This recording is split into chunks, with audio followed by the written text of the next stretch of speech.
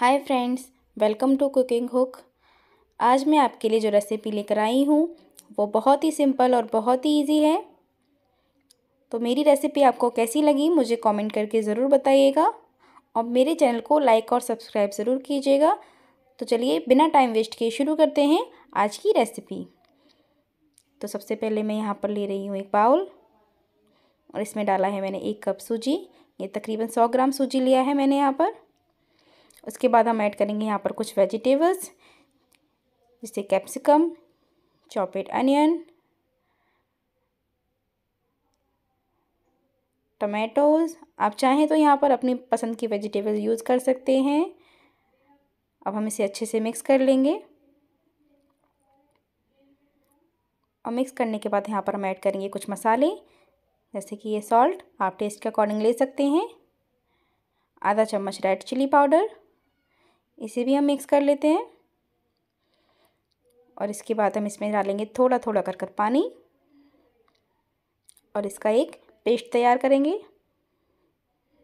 कुछ इस तरीके का। इसे हम ढककर पंद्रह मिनट के लिए रेस्ट करने के लिए रख देते हैं।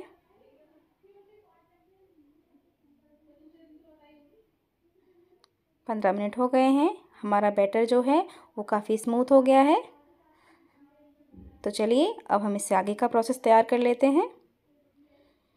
मैंने यहाँ पर लिया एक पैन और इसमें डाला है थोड़ा सा ऑयल वन टीस्पून ऑयल लिया है मैंने यहाँ और इस पर मैंने एक ब्रेड डाल दिया है। इस ब्रेड को हमें वन साइड से सेक लेना है। ये जो हमारा ब्रेड है वो सीख चुका है, अब हम इसे पलट लेते हैं और इस पर हम बैटर लगाते हैं, जो भी हमने तैयार किया था। इसे हम चारों तरफ़ से कवर कर देंगे।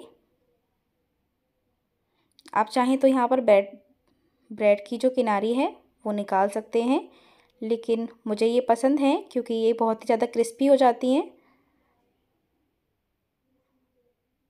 चारों तरफ़ से हमें इसको बैटर को फैला लेना है।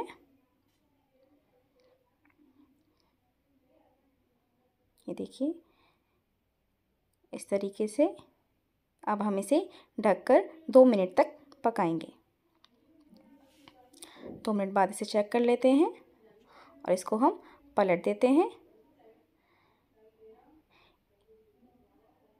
इस पर लगा देते हैं थोड़ा सा ऑयल आप चाहें तो इसे बिना ऑयल के भी बना सकते हैं, अगर आप नॉन स्टिक यूज़ कर रहे हैं तो लेकिन ऑयल डालने से ये थोड़ा सा और भी ज़्यादा क्रिस्पी हो जाता है।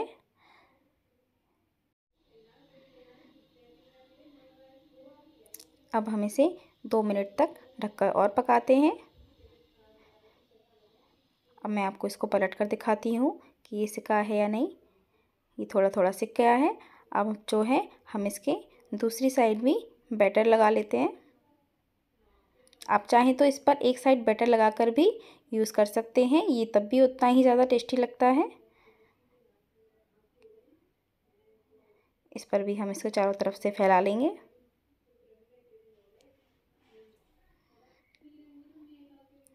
और इसको पलट लेंगे। और थोड़ा सा इस पर ऑयल लगा देंगे। अब इसको हम ढककर दो मिनट तक फिर से पकाएँगे। अब इसी तरीके से पलट पलट कर हम इसको दोनों साइड से सेक लेंगे।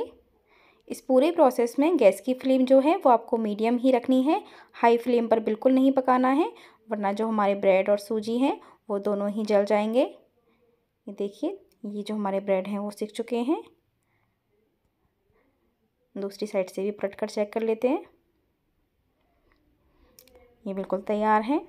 अब मैं आपको इसे कट कर कर दिखाती हूँ। देखिए कितने बढ़िया सीख चुके हैं ये। तो आपको मेरी रेसिपी कैसी लगी, मुझे कमेंट करके ज़रूर बताइए। और मेरे चैनल को लाइक और सब्सक्राइब ज़रूर कीजिए।